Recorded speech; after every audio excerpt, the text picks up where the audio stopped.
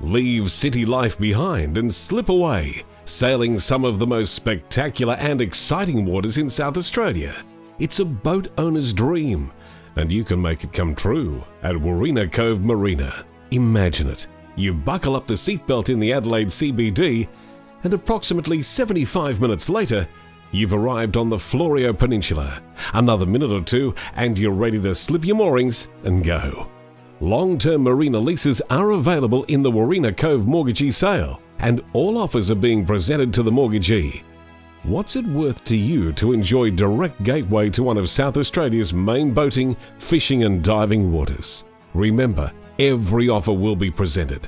To register your interest, go to www.wirrinacove.raywhite.com.au.